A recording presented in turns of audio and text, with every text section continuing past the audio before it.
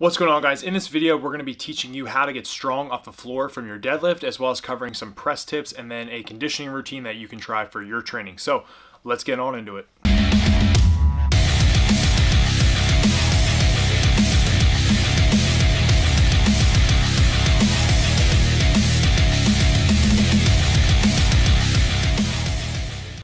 What is going on guys? I'm Coach Joe and I'm currently not in the Lion's Den, but if you're new to this channel, make sure that you give this video a thumbs up, subscribe to the channel, and hit the notification bell right here for the videos coming out right when I upload them. Uh, but this is going to be day three of my training. We're doing a series called Train Like Me, and at the end of the series, I'm going to be giving you guys a programming block for you to try, so make sure that you watch the videos all the way through, and we'll give the programming block in the next video that's coming out. But for this video, we're going to start with uh, deadlift variation, specifically a pause deadlift, and I'm going to be talking about ways that you can get stronger off the floor because that seems to be one of the number one issues that people have is getting stuck off the floor with their deadlift. We're going to dive into some accessory work that I do, some pressing variations, and then some conditioning. So uh, stick around, listen to the commentary, and hopefully you guys can pick some things that are going to help you with your training. What is up, guys? We are now in the commentary for this training session. This is day three of four for the Train Like Me series. And on this day, we are doing a deadlift variation. So this is my second deadlift day. And when I do my second deadlift day, I wear straps and no belt. So there's no belt going to be worn, which just helps auto-regulate the intensity and just manages fatigue. So if you guys don't do any form of auto-regulation, highly recommend it. And we're going to dive into it. So when you guys had answered the question for me about where your sticky points were, mm, I would say 90 some percent of you said from the floor. So, what I recommend is doing things like pause deadlifts, which is what I'm doing right now, and doing something like a deficit deadlift. So, standing on, say, a 25 pound bumper plate or an inch or something that's about two inches. I wouldn't really go any higher than two inches. I don't think it's necessary. If you want to, just for shits and gigs, you can, but I normally stay within uh, you know, the 0.5 to 2 inch range for my deficits. But I will say another tip that will largely help you guys out is going to be resetting between every rep. It's going to force you to get in a good position and it's going to help you uh, get smoother pulls off the floor uh, and just make you stronger off the floor. And that's a game changer for me. Uh, so this is uh, 455 right now. Um, actually, I had somebody help me with the camera. Um, so get a little bit better angles here. But really, uh, those would be my three biggest tips for getting stronger off the floor uh, in terms of just importance. So kind of resetting between each rep as you see me doing here, not doing touch and go. I only do touch and go if it's specific for a competition. Example, strongman, 60 second max rep. Um, but every training session where I'm not getting closer to a show, it's always resetting between every rep. Um, and then doing either the deficit or a pause with the deadlift. Um, this is my top set at 495. Should have just thrown on 2.5s and gone for 500, but uh, it is what it is. And this would I would say would be a true uh, around uh, eight or nine ish. So my rep scheme for this was working up uh, with fives uh, for a five at seven, five at eight, five at nine, and then do two back off sets at my first starting set, which was going to be 455. Now me be having a little bit more experience, I probably should have went to 475 uh, or 485 between before jumping to uh, the 495, uh, and I didn't. So I ended up actually doing I think three uh, back offsets just to make up for not doing that set. Uh, but I just show you two in here, I think. Um, but that was my top sets. Then I did the back offsets at 455. Like I said, I did three of them just trying to get that volume in. But as you can see, I'm only wearing straps. There's no belt here. Uh, so that's just how I kind of auto-regulate my training uh, and my intensity. So typically I, you are going to be able to lift more when you are all geared up. Um, so when you kind of take that stuff away, it's going to help dial your intensity down a little bit and help you manage fatigue in training. So second lift I did was a banded overhead press uh, just to change it up and do something fun. Oh, oh, hey, hey, what are you doing on my my video? Get off my video. No, I'm kidding. I'm really cool with that. I always, um, you are the inconvenience when you have a camera set up in a gym. Always remember that.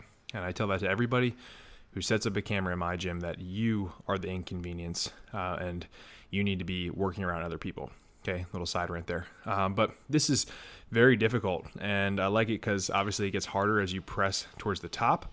Um, but typically, if I was doing an overhead press, I'd be in the 200 some you know, pound range.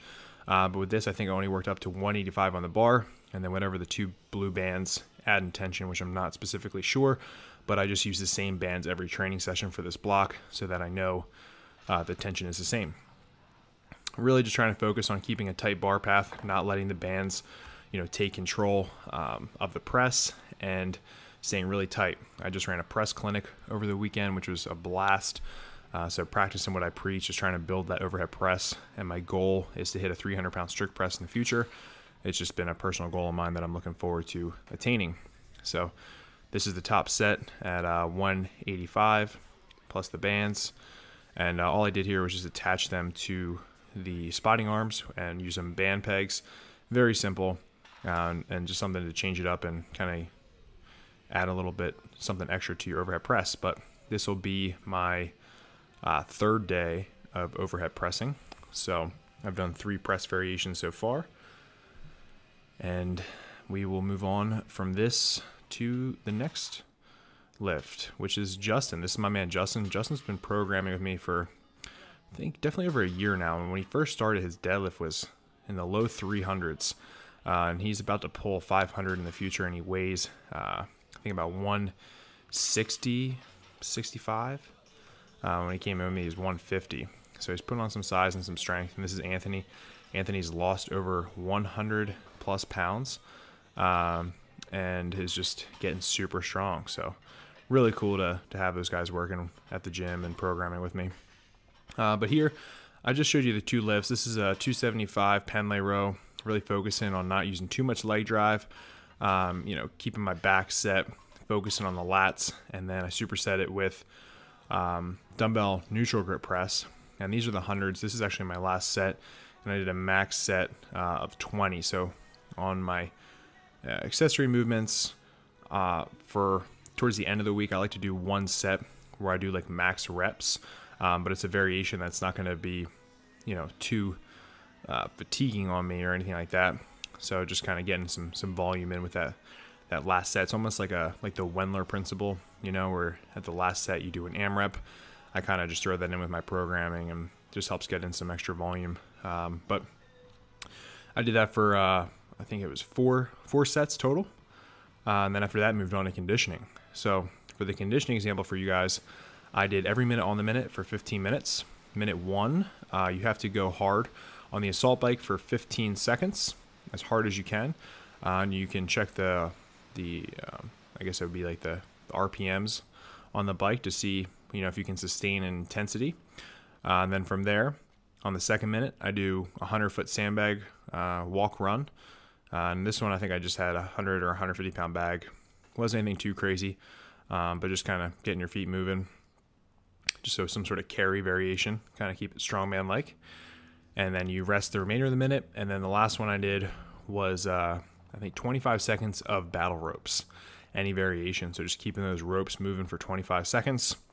And then, you know, whenever you're done, you rest until the next minute and you'll do that for 15 minutes. So that's a cool conditioning routine that you guys can try. But anyway, hopefully uh, this is a cool video and you guys enjoy it. But we are going to get back to the closing. So thanks for tuning in there you guys have it. Hopefully, some of the things I talked about are going to help you with your training journey. Uh, and if you have any more questions, put them down in the comments section below, and I'll be sure to kind of help you guys out best I can or make future videos around those issues that you guys are all having.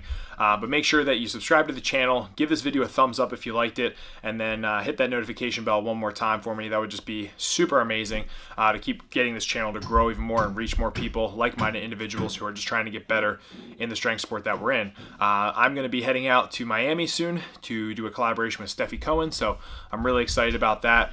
Uh, very grateful for the opportunity. I know you guys are going to like the stuff that I'm going to be putting out. Uh, if you didn't know, we have a heavy metal barbecue that's going down to Lions Den, which is going to be October 19th and 20th.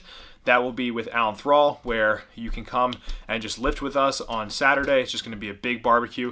And then on Sunday, we're actually doing a clinic to help you with your deadlift and your squat. So if you're interested in that, I'll put the link down below in the description.